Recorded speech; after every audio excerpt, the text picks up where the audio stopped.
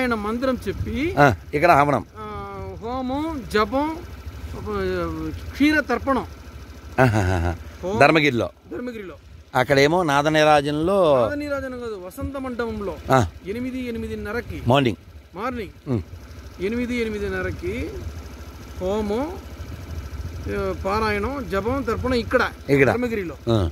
వసంత మండపంలో పారాయణం. పారాయణం ఆ, ఈరోజు మూడు సార్లు అదే పారాయణం. అబ్బా. ఏమిరా అంటే ఐశ్వర్య ఇంట్లో వస్తుంది ఆ మంత్రం. పారాయణం. అందువల్ల మధ్యాహ్నం ఒంటి గంటకు ఉంది. మళ్ళీ సాయంకాలం ఏడు గంటలకు ఉంది.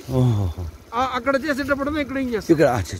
అక్కడ పారాయణం జరుగుతుంటుంది ఇక్కడ హోమం జరుగుతుంటుంది. హోమం జరుగుతుంది జపం జరుగుతుంది క్షీర తర్పణం జరుగుతుంది. మూడు. మూడు ఓ జరుగుతాయి చాలా సంతోషం సార్. సాయంకాలం ఏడు గంటలకి ఐదు నుంచి ఏడు గంటల వరకు తిరువారాధనం. పూజలు. స్వామికి రాముల వారు స్వామి. అందరికి. ఇక్కడ ధర్మగిరి. ధర్మగిరిలో. సాళగ్రామం స్వామికి అందరికి. ఓహోహో. మనం చాలా రోజులు అయిపోయింది నేను వచ్చి.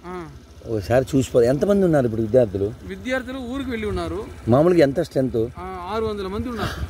ఇప్పుడు? మళ్ళీ వస్తారు. వస్తారు వస్తారు. ఈ కరోనా దీనివల్ల ఇక స్కూల్ అంతా ఓపెన్ కాలేదు కాబట్టి పెట్టి ఉన్నారు స్కూల్ అంతా ఓపెన్ అయినప్పుడు అందరినీ తీసుకొస్తారు.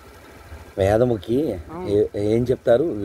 వేదో నిత్యం అధీయతాం అంటారు కదా. వేదం ఎప్పుడూ ఉంటుంది. మన దేవస్థానమే తెరిపించేదానికి అవుతుంది. తిరుమల తిరుపతి దేవస్థానం వల్లనే సాధ్యమవుతుంది. వాళ్ళే అంత ఈ వైదిక ధర్మాన్ని కాపాడుతున్నారు. బాగా. భగవద్గీత అన్ని. సాయంకాలం రోజు ఆరు గంటలకి భగవద్గీత పారాయణ. కుప్పవారు. కదా? అవును. విశ్వనాథన్ గారు. విశ్వనాథన్ గారు. అక్కడ మనం నాదనేరాజ ఆ డ్రైవర్ మనవాడే. అవును. ఆయన తీసుకొచ్చే పిల్లోడు ప్రసాద్ అని వాడే చెప్పాడు. గురించి ఆయన తీసుకొస్తుంది దీంట్లో ఉన్నాడు గురువు గారుగా అవును. అవును.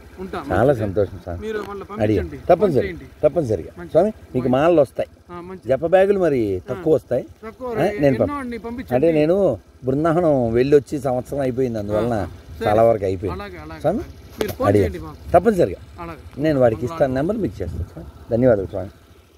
ధర్మగిరికి వెళ్తుంటే మాకు ధర్మమూర్తిలా గోవింద స్వామి స్వామి చాలా సంతోషం. నేను ఈ చెట్లు ఈ ఆనందంలో ఒక అన్నమయ్య కీర్తన పాడదాం.